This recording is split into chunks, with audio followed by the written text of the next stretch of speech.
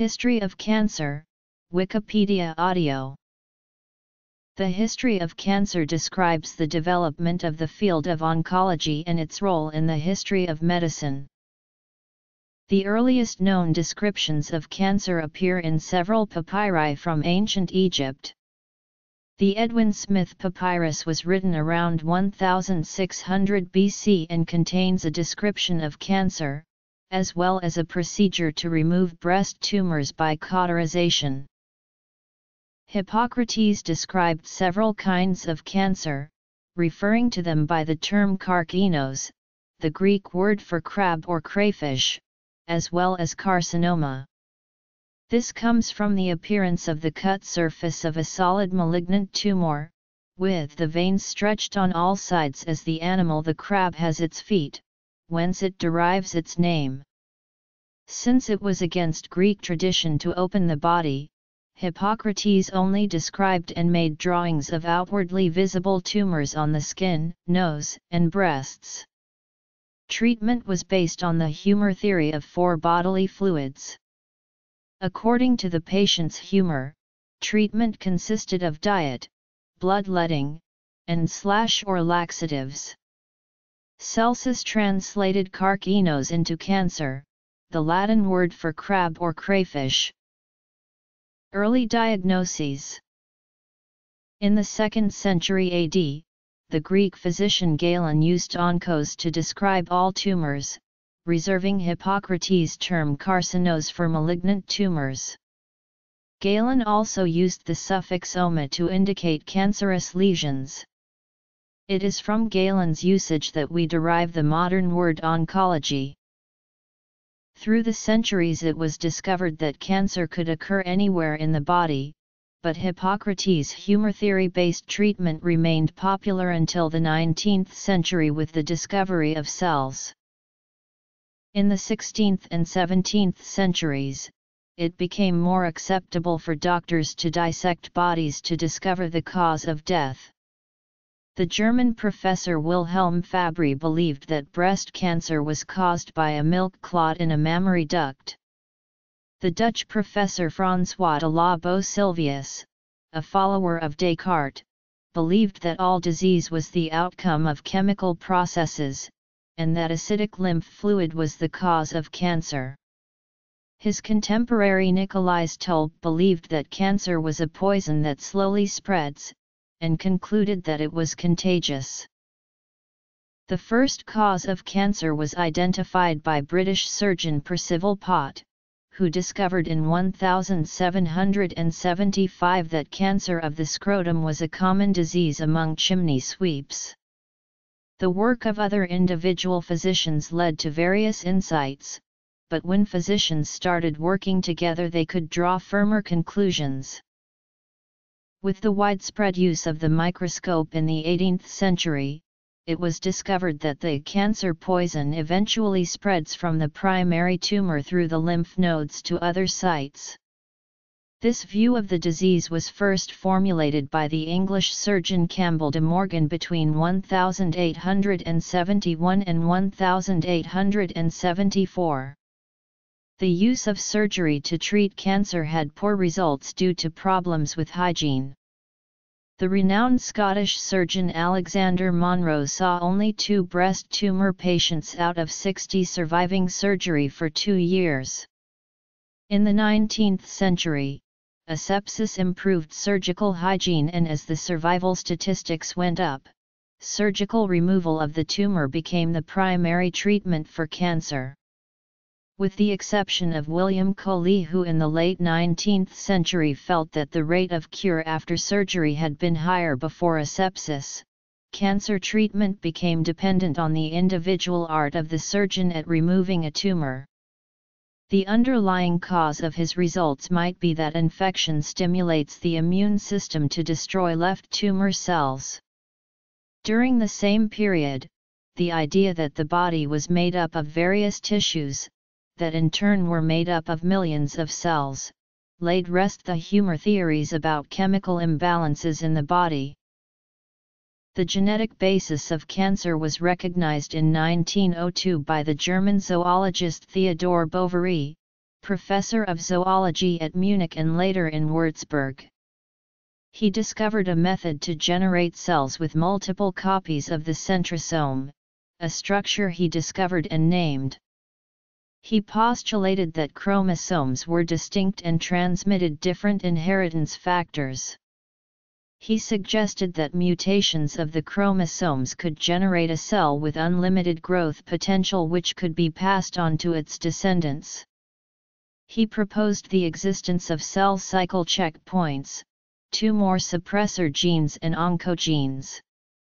He speculated that cancers might be caused or promoted by radiation, physical or chemical insults or by pathogenic microorganisms.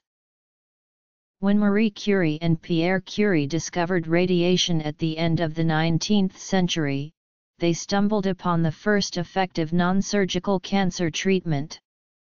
With radiation also came the first signs of multidisciplinary approaches to cancer treatment. The surgeon was no longer operating in isolation, but worked together with hospital radiologists to help patients. The complications in communication this brought, along with the necessity of the patient's treatment in a hospital facility rather than at home, also created a parallel process of compiling patient data into hospital files, which in turn led to the first statistical patient studies. The American Cancer Society was founded in 1913 by 15 physicians and businessmen in New York City under the name American Society for the Control of Cancer. The current name was adopted in 1945. A founding paper of cancer epidemiology was the work of Janet Lane-Claypon, who published a comparative study in 1926 of 500 breast cancer cases and 500 control patients of the same background and lifestyle for the British Ministry of Health. Her groundbreaking work on cancer epidemiology was carried on by Richard Doll and Austin Bradford Hill, who published lung cancer and other causes of death in relation to smoking. A second report on the mortality of British doctors followed in 1956. Richard Doll left the London Medical Research Centre, to start the Oxford Unit for Cancer Epidemiology in 1968. With the use of computers, the unit was the first to compile large amounts of cancer data. Modern epidemiological methods are closely linked to current concepts of disease and public health policy. Over the past 50 years, great efforts have been spent on gathering data across medical practice, hospital, provincial, state, and even country boundaries to study the interdependence of environmental and cultural factors on cancer incidence.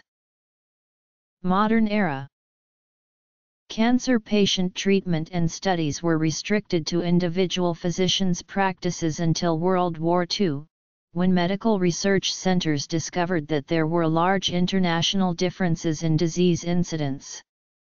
This insight drove national public health bodies to enable the compilation of health data across practices and hospitals, a process found in many countries today the Japanese medical community observed that the bone marrow of victims of the atomic bombings of Hiroshima and Nagasaki was completely destroyed. They concluded that diseased bone marrow could also be destroyed with radiation, and this led to the development of bone marrow transplants for leukemia.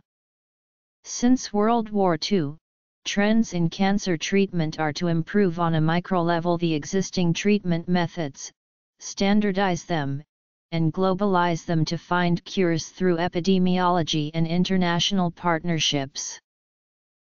In 1968 Anthony Epstein, Bert Achong, and Yvonne Barr identified the first human cancer virus, called the Epstein-Barr virus.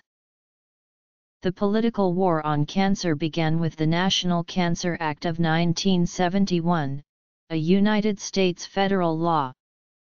The Act was intended to amend the Public Health Service Act so as to strengthen the National Cancer Institute in order to more effectively carry out the national effort against cancer. It was signed into law by then U.S. President Richard Nixon on December 23, 1971. In 1973, cancer research led to a Cold War incident, where cooperative samples of reported oncoviruses were discovered to be contaminated by HeLa. In 1984, Harald zur Hausen discovered first HPV-16 and then HPV-18 responsible for approximately 70% of cervical cancers. For discovery that human papillomaviruses cause human cancer, zur Hausen won a 2008 Nobel Prize. Since 1971 the United States has invested over $200 billion on cancer research, that total includes money invested by public and private sectors and foundations. Despite this substantial investment, the country has seen just a 5% decrease in the cancer death rate between 1950 and 2005. Longer life expectancy may be a contributing factor to this, as cancer rates and mortality rates increases significantly with age, more than 3 out of 5 cancers are diagnosed in people aged 65 and over. Mechanism. Therapies. War on Cancer